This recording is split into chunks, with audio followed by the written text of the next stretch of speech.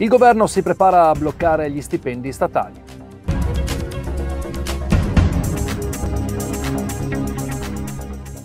E per far fronte alle spese della uh, pandemia, alle necessità di risparmiare per uh, pagare debito e servizi, il cancelliere Sunak si sta preparando a bloccare eventuali aumenti di salario per i dipendenti pubblici, ad eccezione di quelli sanitari.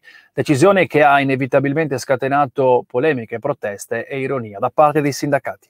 Milioni di lavoratori del settore pubblico pagheranno la crisi con il blocco degli stipendi. È quello che potrebbe accadere l'anno prossimo e si saprà già da questa settimana, quando il cancelliere Sunak presenterà la legge di bilancio per il biennio 2021-22. Gli statali non riceveranno aumenti per risparmiare soldi necessari a coprire le spese della pandemia, ad esclusione dei lavoratori di NHS che non dovrebbero subire il blocco degli aumenti. Gli altri statali non vedranno adeguati i loro stipendi e subiranno così gli effetti dell'inflazione più che in passato. Il governo sta infatti pagando un debito pubblico molto alto e ha bisogno di tagliare le spese, visto che il settore privato, costretto alla chiusura dai lockdown, è in forte difficoltà e non potrà contribuire alle casse dello Stato come gli altri anni. Il Ministero non ha voluto rilasciare dichiarazioni, ma ha ricordato le parole di Sunak in una lettera di commento del cancelliere a proposito della spending review, pubblicata in luglio. Nell'interesse e l'imparzialità dobbiamo applicare un vincolo agli aumenti di stipendio nel settore pubblico, assicurandoci che nel corso dell'anno il settore pubblico paghi alla pari del settore privato, era scritto nella lettera. Il Tesoro ha anche fatto riferimento allo studio del Center Center for Policy Studies, che indica tre anni di blocco degli stipendi per risparmiare 23 miliardi. Per l'Ufficio Nazionale di Statistica britannico, il settore pubblico paga il 7% in più rispetto al privato in stipendi. Saranno circa 5 milioni e mezzo i lavoratori interessati dal blocco, tra insegnanti, poliziotti, impiegati e forze armate, ad esclusione di NHS. Ma con il settore privato in crisi non è escluso che il governo tagli addirittura gli stipendi degli statali per compensare quanto non verrà raccolto di tasse. I sindacati del settore pubblico hanno subito commentato negativamente le indiscrezioni, come la la United Trade Union, che parla di insulto ai lavoratori del settore pubblico, mentre il sindacato dei pompieri ironizza tra blocco degli stipendi e applausi ai lavoratori essenziali, ricordando gli appalti miliardari elargiti durante la pandemia agli amici dei politici, sotto indagine da parte della Corte dei Conti britannica.